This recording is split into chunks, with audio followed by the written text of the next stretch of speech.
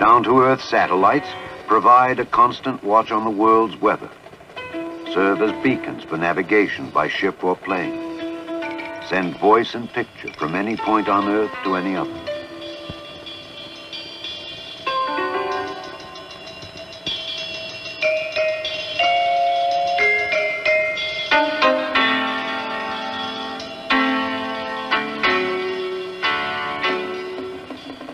In 10 years, we have come from a few experimental weather satellites to an operational system capable of night and day observations around the world.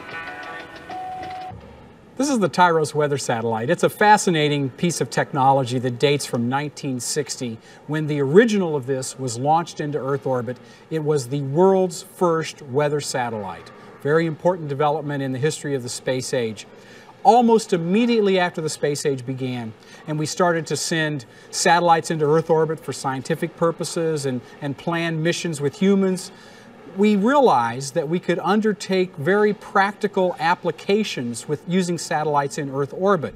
And one of the things that we first hit upon was the idea of a weather satellite. Taking pictures of the Earth's weather patterns from Earth orbit is really important. Today, satellites take portraits of storms that span half a continent and transmit them to meteorologists in many nations.